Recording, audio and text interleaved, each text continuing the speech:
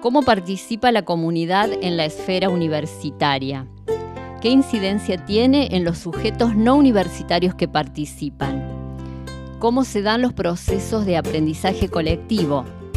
Estas son algunas de las preguntas que dan sentido a este programa televisivo. Por eso reunimos voces y experiencias de la comunidad donde los encuentros y las transformaciones pueden palparse. De eso se trata este programa.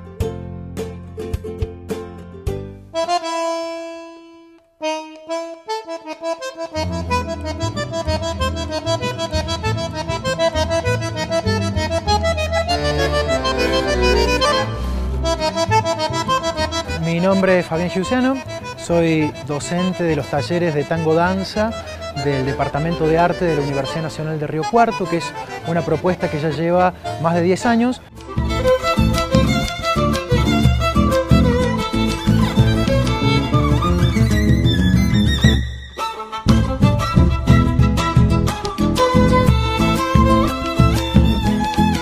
Mi nombre es Marco Faletti, soy el docente del taller Folclore Vivo, que es el taller que pertenece al Departamento de Arte de la Secretaría de Extensión de la Universidad.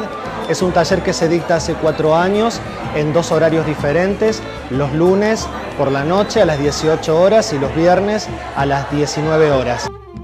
Mi nombre es Enrique Alcoba, soy director del Departamento de Arte y Cultura que depende de la Secretaría de Extensión y Desarrollo eh, en el marco de la acción de la Universidad Nacional de Río Cuarto.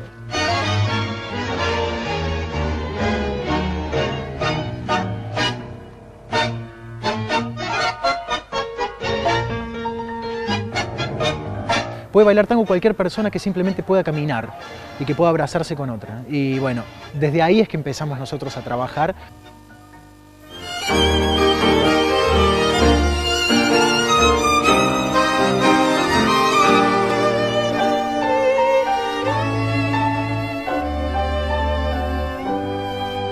Es un espacio que me da mucha satisfacción, en primer lugar porque que sea un espacio donde la universidad, dentro de lo que es el área de extensión, considere eh, lo artístico y dentro de lo artístico al folclore, a mí me da muchísima satisfacción porque da cuenta de una universidad que está comprometida con la comunidad y con el patrimonio tradicional que es sobre lo que se trata el curso.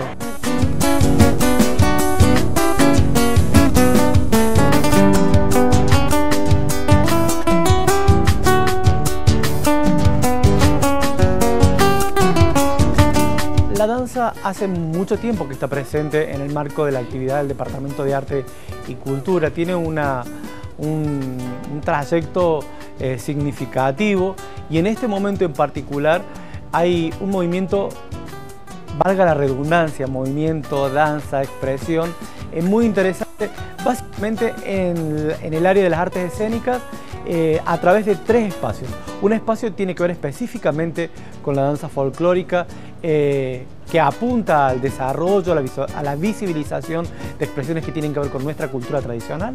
Otro espacio tiene que ver con el tango, eh, en otra faceta, en otra disciplina, que también tiene que ver con, nuestra cultura. Y una tercera pata, podríamos decir, tiene que ver con el teatro, el teatro visualizado también como una posibilidad eh, de expresión y donde la danza necesariamente se cruza a partir de distintos, distintas propuestas y puestas en escena que desarrolla el elenco y los talleres de teatro.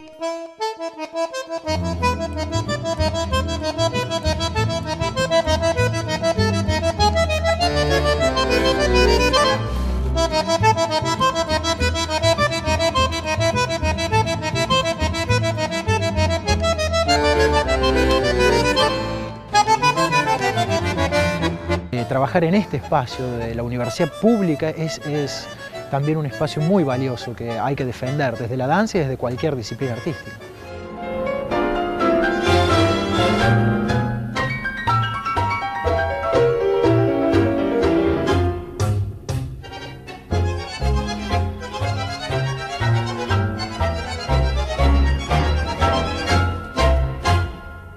Recorrer esta universidad, estar en contacto con sus estudiantes y con sus inquietudes y también con docentes y gente que no es de la universidad pero que se suma, me da mucha satisfacción en un espacio que es público, que es abierto y que es gratuito. Creo que eso es fundamental. El UNESCO, que es el Consejo Internacional de la Danza, plantea eh, conmemorar la danza a nivel mundial. Toma como referencia el día 29 de abril, eh, que es el nacimiento de un coreógrafo eh, que marca un nuevo un cambio de paradigma en lo que es específicamente el ballet. a partir de ahí, cada año hay un mensaje que desde distintas referencias que tienen que ver con académicos, que tienen que ver con coreógrafos, que tienen que ver con bailarines de distintas partes del mundo, eh, hacen referencia a la danza y hacen referencia a la danza en un contexto contemporáneo, en un contexto actual. ¡Atención! ¡Adentro!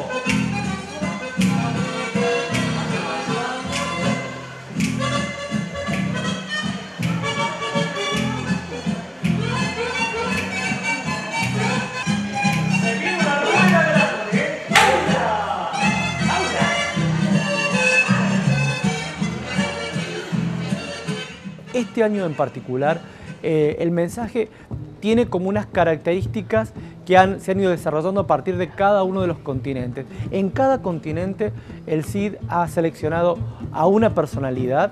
Eh, por América se ha designado a una importante coreógrafa, bailarina y maestra cubana que hace referencia a la danza como el lugar primero, eh, el lugar primero antes eh, del ser.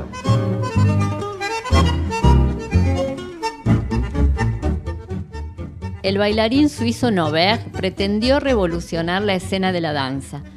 La elevó a la categoría de arte imitativo de la naturaleza y al concebirla como medio de expresión le confirió una identidad como arte interpretativo.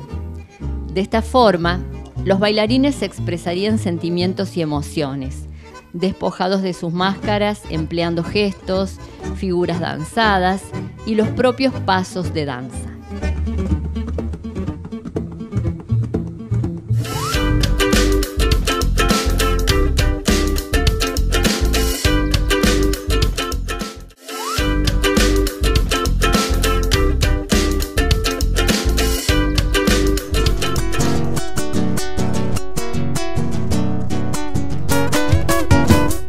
La danza es la acción de bailar, es la ejecución del movimiento al ritmo de la música, pero también es mucho más.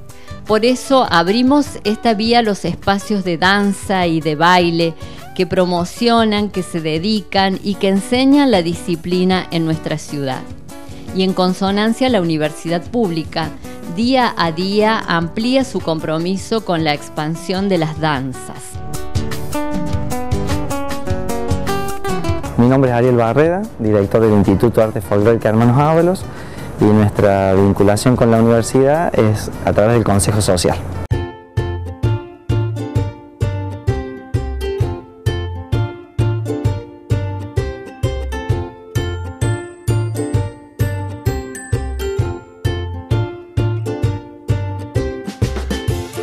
Soy Guadalupe Guerrero, responsable de Cuerpos Inquietos que es un espacio para el entrenamiento, la formación y la investigación en danza, en danza independiente.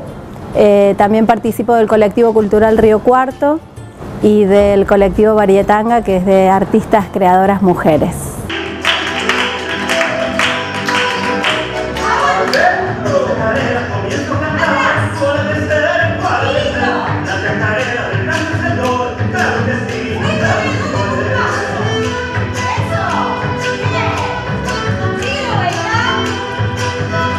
La danza fue una llave, yo creo que es una llave, es una herramienta increíble que el hombre ha creado desde épocas remotas y que te infinitas puertas, eh, ya sea acercándote a diferentes ámbitos sociales, culturales.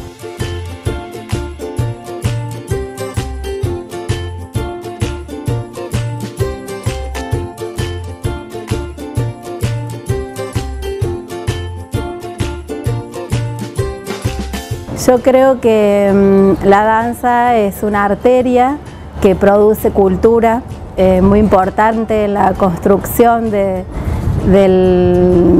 la producción cultural de una ciudad y mm, bueno, creo y percibo que mm, eh, la ciudad está en un nuevo impulso y una nueva búsqueda eh, desde los distintos sectores de la actividad independiente. Importante ese aporte.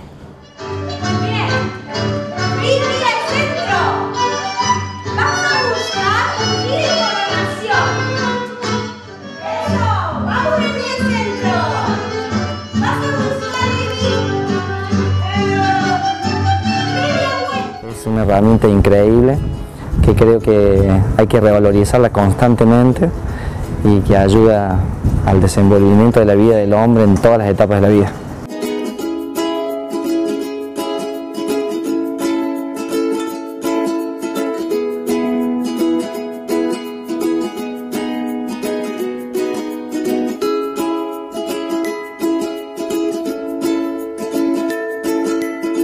Es un momento para los artistas bisagra de, reflexión, que a lo mejor no es tanto la celebración, sino un momento de, eh, eh, de pensar, de reflexionar sobre esto que es trabajar en la cultura, sobre esta construcción, sobre en qué dirección estamos, vamos.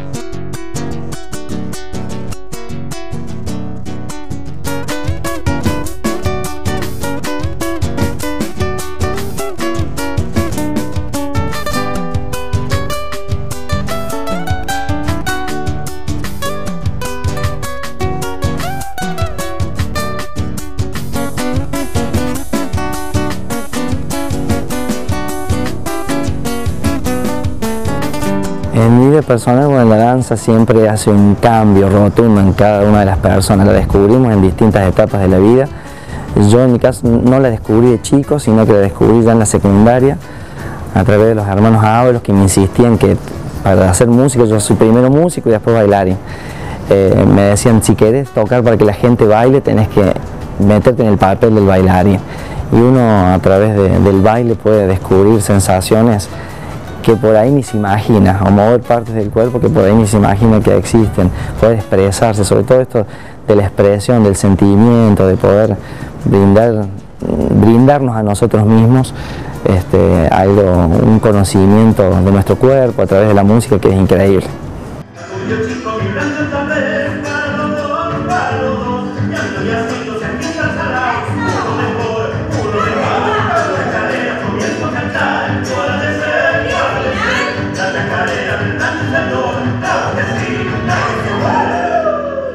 Yo creo que la danza es muy natural desde prácticamente mi, nacimiento, porque desde la infancia que bailo, no tengo y no encuentro fronteras entre la vida fuera de la danza y dentro de la danza. Es como que abarca un espacio eh, imposible de dividir el arte y la danza eh, conmigo, mi vida y mi familia.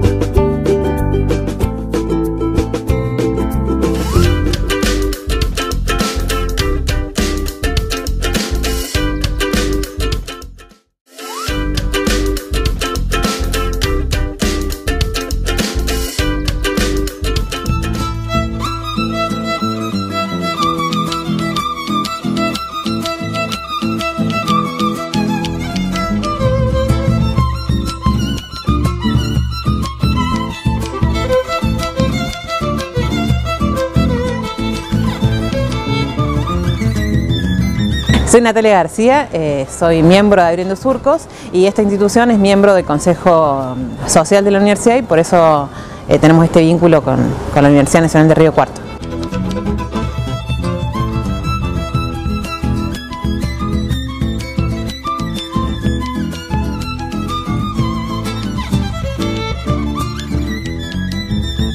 Mi nombre es David Canavesio, eh, soy bailarín y profesor en Abriendo Surcos, que es un, bueno, un espacio educativo y de gestión cultural de la, ciudad de Río Cuarto, que funciona en, el barrio de, Banda Norte. Eh, bueno, donde un poco el objetivo del espacio tiene que ver con brindar eh, un lugar de, formación para personas de todas las edades específicamente en lo que tiene que ver con, la danza, pero también en, cuanto a, por ahí, aspectos musicales, a talleres de, artes visuales, talleres de narración, talleres de distintos géneros dentro de la, de la danza.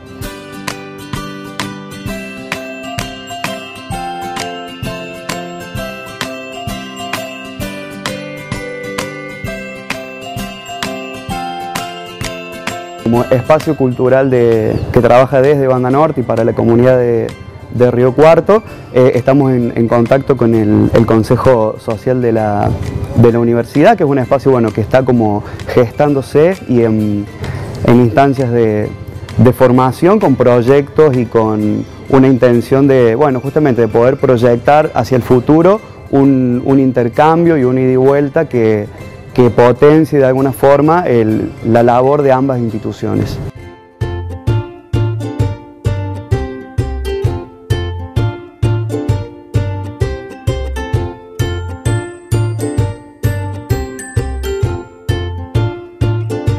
La danza eh, es una construcción comunitaria, es un hecho cultural, permite la transformación del, ser humano en un montón de puntos de vista diferentes y en realidad esto de trabajar en comunidad eh, permite eh, volver a pensar en algunos valores que en, tiempos donde se promueve el individualismo, en realidad el trabajar en conjunto, en tener un objetivo grupal, eh, volvemos a tener presentes.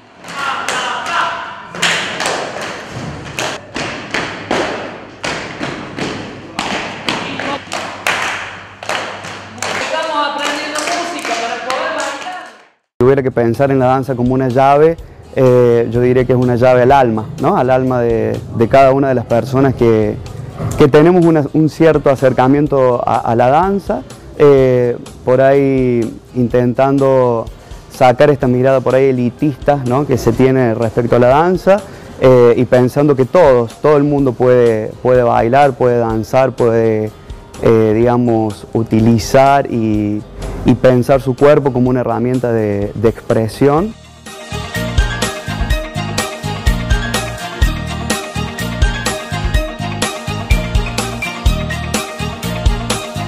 La danza abre un montón de puertas, abre puertas en lo personal, abre puertas en lo grupal y nos abre puertas a un montón de lugares a los que uno ni siquiera podía pensar en dónde podría llegar. Eh, personalmente uno ha tenido la posibilidad de abrir muchísimas puertas y todavía aún algunas no han sido de forma muy consciente y otras que todavía no se han abierto y que ojalá algún día se den. Y que no, uno no, lo puede cuantificar de esa manera. hay un montón de formas de, visualizar esto, desde el trabajo comunitario, de lo barrial, desde lo familiar. Hay familias involucradas completamente eh, eh, en un, proceso, en un proyecto, en lo que sea. Y la danza en realidad nos conecta con el otro. Eh, es una forma de conectarnos, de expresarnos, es una manifestación artística y que no necesariamente es una danza en un escenario, sino que es la danza eh, en lo comunitario todos los días.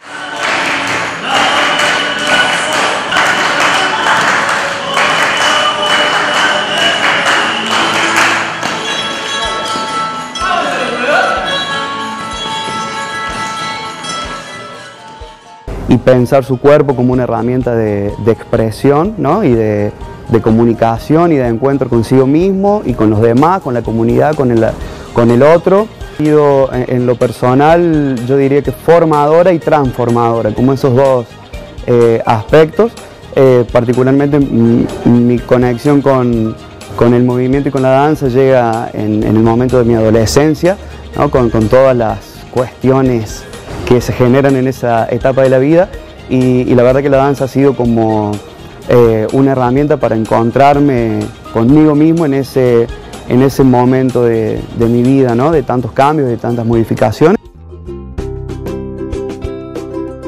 Las instituciones de danzas folclóricas tienen la meta de recuperar y revalorizar el baile tradicional. Constituyen experiencias colectivas de esparcimiento que se dan en las distintas instituciones de nuestra ciudad. De la misma manera, las danzas contemporáneas afianzan vínculos sociales a partir de la danza como expresión. La danza moderna se convierte así en una forma de ser para el hombre que quiere hablar con su cuerpo bailando descalzo.